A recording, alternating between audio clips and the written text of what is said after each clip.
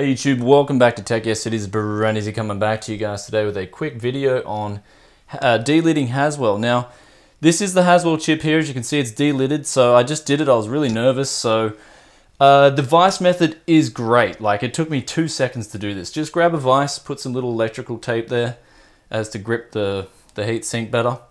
And just put the heat sink in there and have a little bit of the chip sticking out here. And just have something in the background to catch the chip. And what I did was I just got this little block of wood here. See this little block of wood?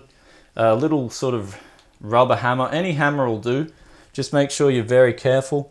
And you just put it on the edge there. And you just bang, bang, bang, bang, bang, bang, bang, bang, bang, bang, bang, bang, bang.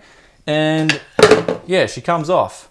Like that, beautiful. And as you can see here, there's all this craps. Like the actual, the TIM they use here is just complete rubbish. Like I, I just yeah, I was surprised with the uh, like just the crap they use on this is just absolute junk.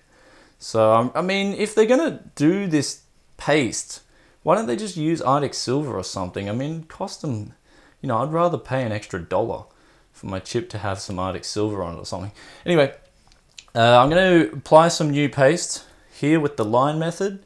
I'm then going to put my cooler, my chip back on, and you don't need to glue it back on. You just whack it back on uh, the bracket will hold it in place. And I'm going to show you before and after temps. Anyway guys, let's get on to the before and after temps.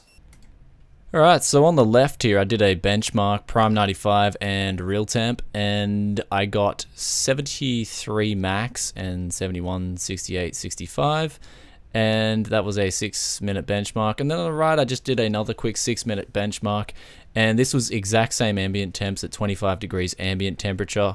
And you can see here, the there was a six degree difference. So on core one, six degree difference on core two, and the other cores were a bit more, a uh, little bit less, but more even. So as you can see there, when I did take the screenshot, you just see the temps are way more even on the on the delidded after you delid it and put some Arctic Silver 5 on there. So yeah guys, I can highly recommend this method and I'll just move on to the conclusion now. So let's move on. Conclusion, I will say that the temps dropped by about 7 degrees and yeah, that's keep in mind that's with a fresh paste of Arctic Silver on there. So maybe a week later it will be, you know, even lower.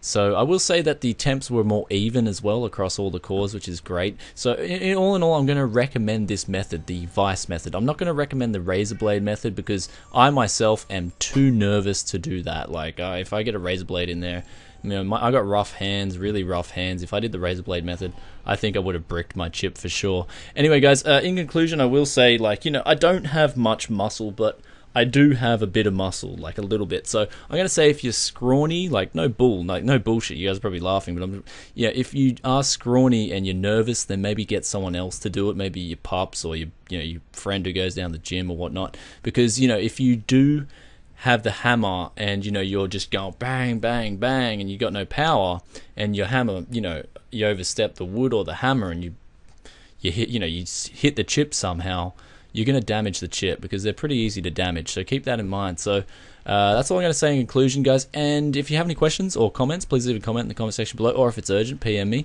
And I do recommend the vice method. Like seriously. So I had like a vice sitting around. I had a hammer and just a block of wood already there. So I was like, when I saw this vice method, I was like, this is perfect. So yeah, it was really, it took like an hour. The whole process took an hour to do.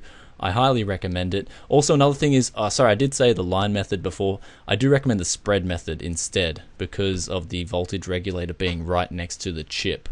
So that's another thing. But yeah, guys, all in all, I'm going to be going for that 4.8 gigahertz overclock probably when it gets a bit cooler. Uh, this was with 25 degrees ambient temps, as I said before. And yeah, guys, if you like this video, please give it a thumbs up. And if you haven't already, subscribe to Tech City, and I'll be giving you guys some more tech. All right, guys, peace out. Bye.